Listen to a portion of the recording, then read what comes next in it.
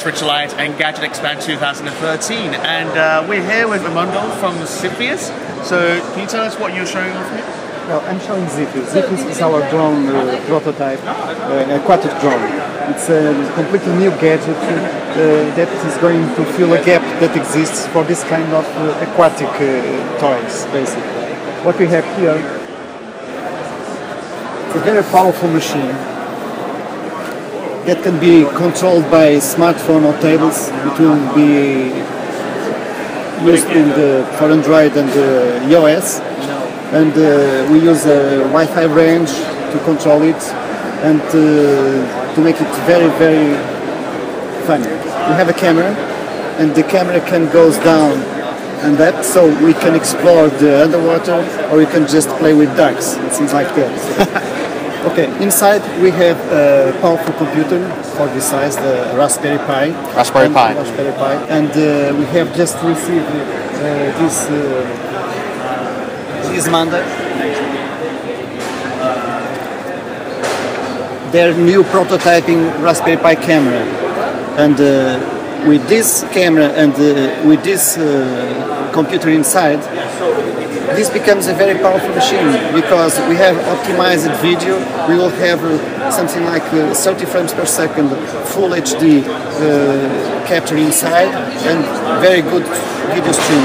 Well, let's. Uh, I see you've got a swimming pool here. Do, you, do you want to show us how so quickly? Be very careful, how- or else you may be.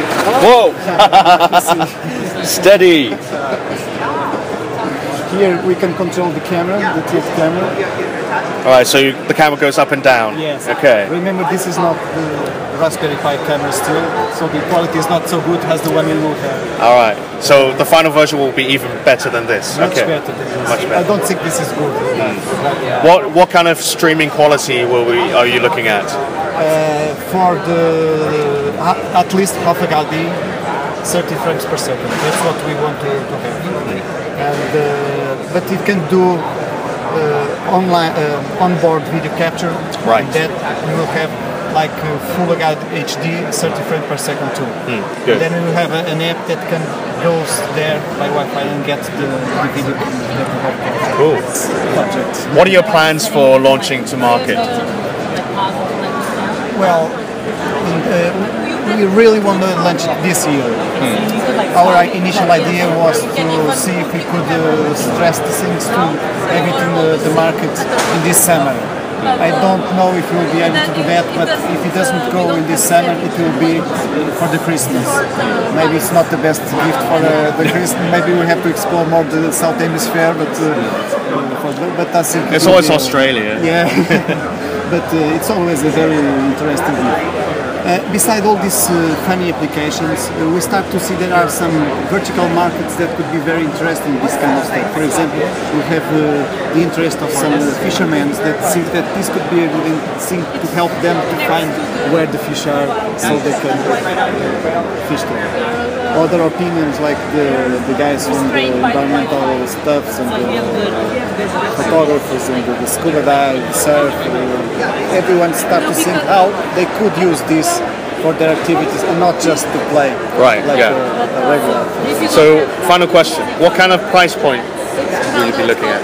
Well, our pri- is not still not defined, but Sure. uh, we are thinking about uh, 200 to, to 200 to 250 dollars. No, it's not bad. That's the range.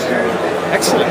That's one of the interesting things about this because uh, uh, we want to do a mass market product with a low cost, and uh, there are nothing like this for water because water is really a very complicated medium. All, everything that we can see with this kind of uh, performance for water is much much more expensive, and we want to democratize, the use of this kind of toys in water. Cool. Well, thank you very much for your time, Raimundo, Okay. and uh, we look forward to your Ziphius.